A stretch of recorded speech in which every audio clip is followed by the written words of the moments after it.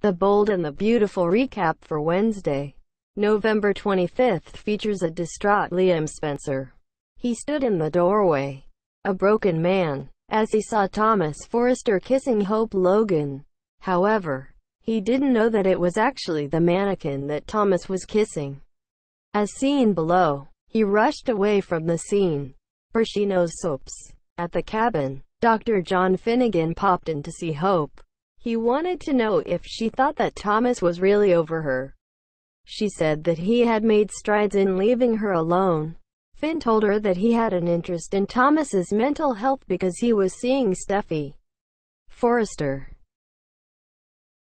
The physician said that Thomas had been bashing Liam, and he was concerned that he was still obsessed. Hope still believed that he was getting better. However, she thought that it would be best if Finn questioned Thomas himself. After Finn left, Hope sent a text message to Liam to ask him when he was coming home. At the apartment, Thomas realized that he was kissing a dummy.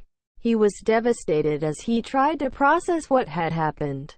He called the mannequin evil while it urged him to go and kiss the real Hope before telling the designer that he was imagining things. I'm imagining things. I'm talking to a mannequin. Thomas cried. Just then, Finn knocked on the door. The designer suddenly calmed down and put the doll away. He let Finn into his place and told him that it was a bad time. The doctor felt that he had good reason to be concerned about him. At the Cliff house, Steffy was enjoying a quiet evening at home. She gazed at the photo of her and Liam and smiled. Suddenly, Liam barged into her house.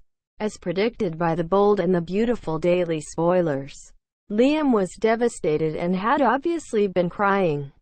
Thank you for watching this video. See you in next video.